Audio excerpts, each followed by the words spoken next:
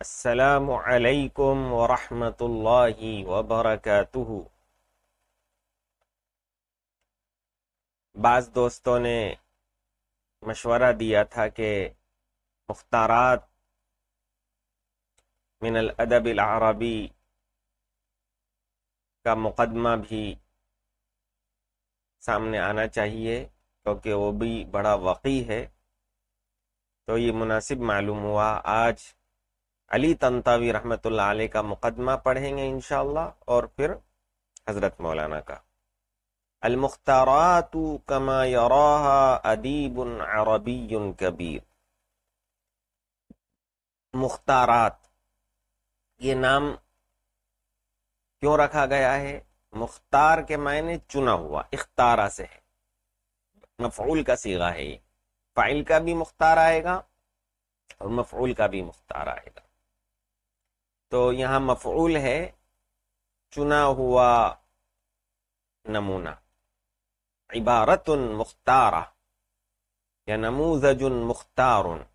اور جب جمع ہو گیا نمازج مختارات، نصوص مختارات سلیکٹیڈ چنے ہوئے منتخب نمونے، عربی ادب کے۔ تو ایک بڑے ادیب کی نظر میں اس کتاب کی اہمیت۔ وہ الاستاذ علی الطنطاوی وہ استاذ علی تنطاوی رحمۃ اللہ علیہ ہیں، الذي يعتبر في طليعة أدباء العربية اليوم. جو آج موجودہ دور میں عربی کے ادابا میں سر فہرست شمار کیے جاتے ہیں۔ سر فہرست ادابا میں شمار کیے جاتے ہیں۔ طلیعت الجیش مقدمت الجیش کو کہتے ہیں۔ ومن اقدر کتابہا، اور علی تنتاوی شمار کیے جاتے ہیں عربی کے انتہائی قادر الکلام انشا پردازوں میں۔ وصاحب طریقت و اسلوب فیہا، اور عربی تحریر کے، عربی ادب کے صاحب اسلوب ادیب آپ کو مانا جاتا ہے۔ وقد اشتغل بالتدریس فی جامعتی بغداد و دمشق۔ آپ بغداد اور دمشق کی یونیورسٹیوں میں تدریس کی ذمہ داری انجام دے چکے ہیں۔ وشغل منصب القضاء مدتا من الزمن۔ اور ایک زمانے تک قضاء کا منصب بھی سنبھل چکے ہیں۔ وَلَهُ عَشَرَاتٌ مِّنَ الْمُؤَلَّفَاتِ أَكْثَرُهَا فِي الْأَدَبِ وَالنَّقْدِ وَالتَّارِيخ آپ کی دسیوں کتابیں ہیں جو اکثر ادب و نقد اور تاریخ کے فن میں ہیں۔ کیا فرماتے ہیں حضرت علی تنطاوی رحمۃ اللہ علیہ اس کتاب کے بارے میں؟ فرماتے ہیں کہ تحریر بہت ہی ادبی ہے اور ادبی ہونے کے ساتھ ساتھ ناقدانہ ہے۔ عربی کے اندر اس کے اندر یعنی پرکھنے کی صلاحیت تمیز کرنے کی صلاحیت اور ادبی نظر اس کے اندر پائی جاتی ہے فرماتے ہیں اذا كانت دلیل على ذوق الادیب اختیاره فحسب القراء ان يعلموا اننا عرضنا من امد قريب كتب المختارات الادبيه لنتخیر واحدا منها. اگر ادیب کے ذوق کی دلیل اختیار ہو اس کا انتخاب ہوتا ہے یعنی انتخاب، یہ ذوق کی دلیل ہے، تو فحسب القرائی تو ہمارے پڑھنے والوں کو یہ جان لینا کافی ہے۔ فحسب القرائی ان يعلموا اننا عرضنا کہ ہم نے جائزہ لیا من امد قریب ابھی چند دنوں پہلے، کچھ مدت پہلے۔ ادبی اختیارات کی کتابوں کا عربی انتخاب، عربی نثر کہ انتخاب کی کتابوں کا جائزہ لیا۔ لنتخیر واحدا منها کہ ایک کو ہم منتخب کریں۔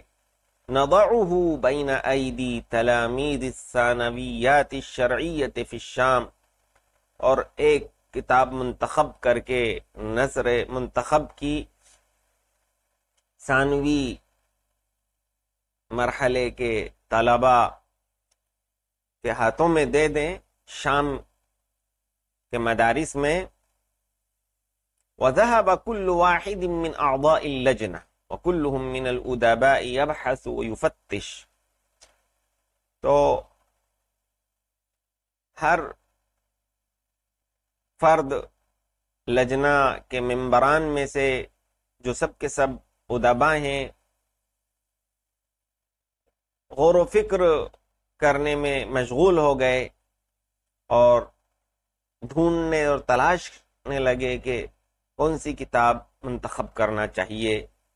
فعدنا جمیعا تو ہم لوٹے۔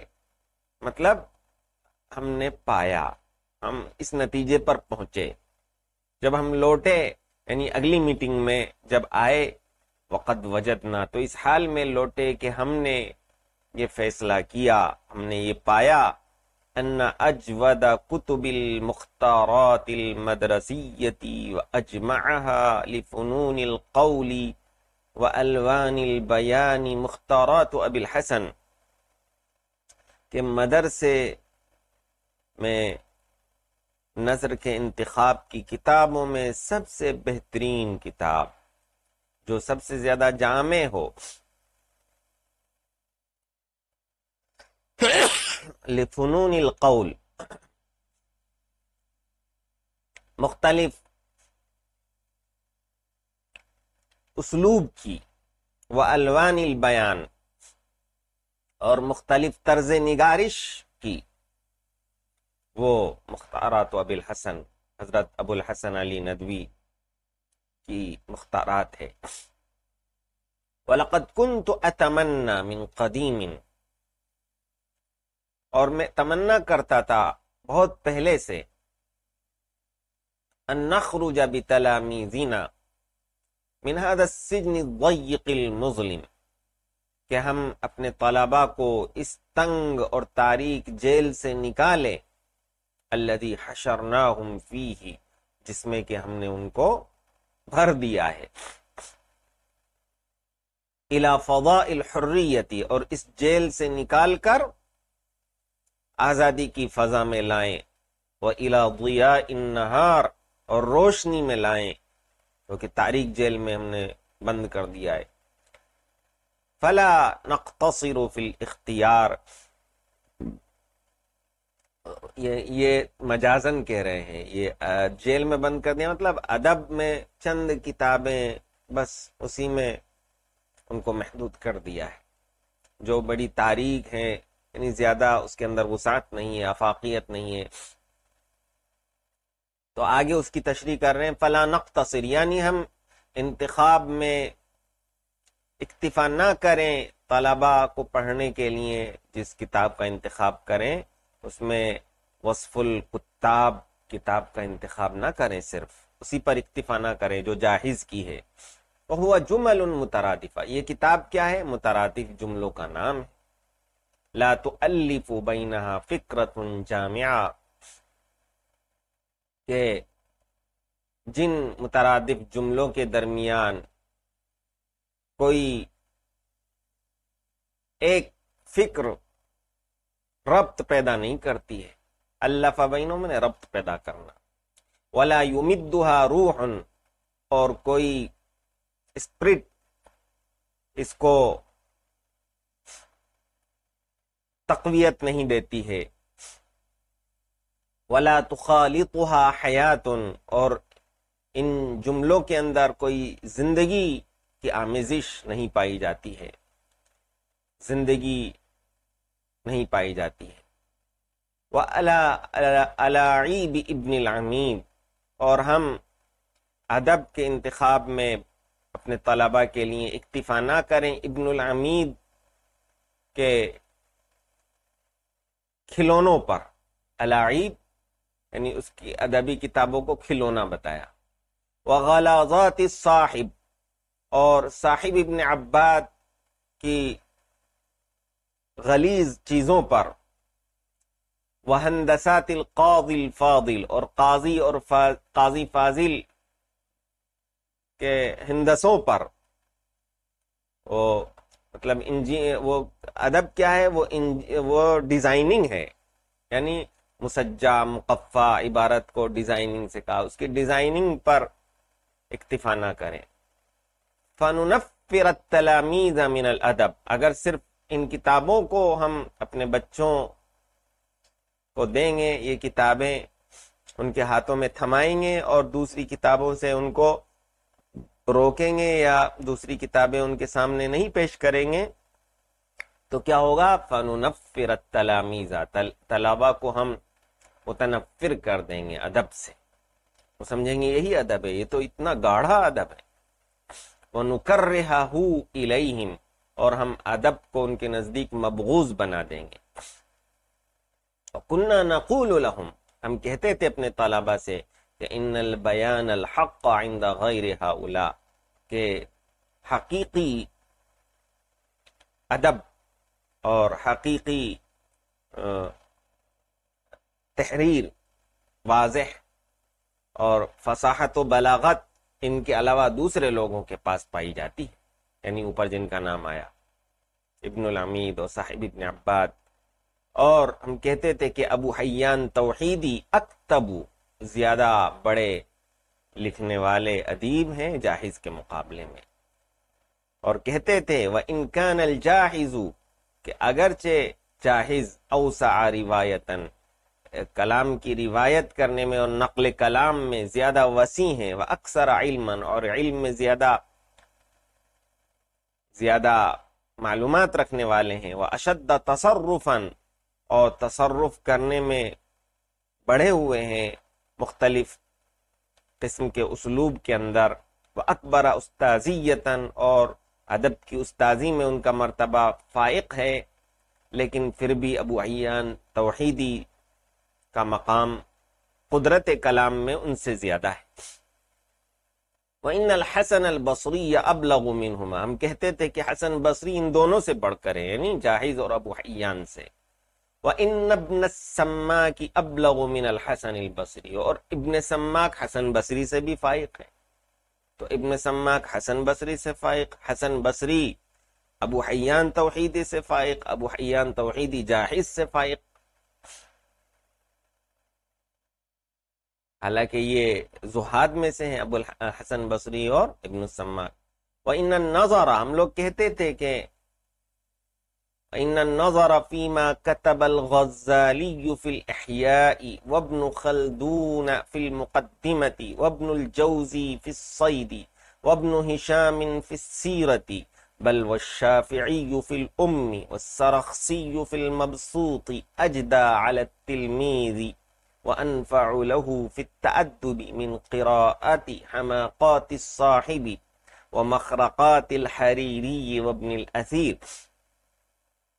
ہم کہتے تھے کہ نظر کرنا یعنی غور و فکر کرنا اور پڑھنا اس تحریر کو جو غزالی نے لکھی ہے احیاء العلوم میں اور جو ابن خلدون نے جو رقم فرمایا ہے مقدمے میں، اپنے مقدمے ابن خلدون میں، اور ابن الجوزی نے جو فرمایا ہے سعید الخاطر میں، اور ابن ہشام نے جو نقل فرمایا ہے سیرت ابن ہشام میں بلکہ امام شافعی کی کتاب الام کو پڑھنا اور سرخسی کی مبسود کو پڑھنا اجدا زیادہ نفع بخش ہے طالب علم کے لیے تلمیز کے لیے، وانفع له، اس کے لیے زیادہ مفید ہے پھر تعدب ادب سیکھنے میں۔ من قراءت حماقات الصاحب، کس سے زیادہ نافع ہے یہ؟ صاحب ابن عباد کی حماقتوں کو پڑھنے سے۔ اور مخرقات الحریری ابن الاسیر اور حریری کی حماقتوں مخرقات بھی حماقت کو کہتے ہیں خرق سے بنائے۔ اور حریری کی حماقتوں کو اور ابن الاسیر کی حماقتوں کو یعنی حماقت یعنی ان کی تحریر ہے جو حماقت پر مشتمل ہے اس کو پڑھنے سے۔ وَكَتَبْتُ فِي ذَلِكَ مِرَارًا۔ میں نے اس سلسلے میں تحریریں لکھی، مضمون لکھے بار بار۔ فمل تفت الادالی کا احد تو اس کی جانب کوئی متوجہ نہیں ہوا۔ فیس تو منو میں مایوس ہو گیا۔ حتیٰ وجد تو کتاب اب الحسن، لیکن جب ہمیں ابو الحسن علی ندوی کی کتاب ملی تو خوش ہو گئے۔ فضا ہوا، تو دیکھا اضاف جائیہ کہ حضرت نے ابو الحسن علی ندوی نے قد نفض کتب الادب والتاریخ نفضا، جھاڑ لیا ہے۔ ادب اور تاریخ کی کتابوں کو یعنی کھنگال لیا ہے۔ وحرسا حرسن اور اس کو جوت لیا ہے مطلب یعنی اس کو پورے کا جائزہ لے لیا ہے۔ فستخرج جواہرہا اور اس کے جواہر پارے نکال لیے ہیں ان کتابوں کے۔ فاودعہا کتاب ہو اور وہ اپنی کتاب میں شامل کر دیے یعنی اچھے اچھے نمونے، ادب و تحریر کے۔ آخر دعوانا الحمدللہ رب العالمين۔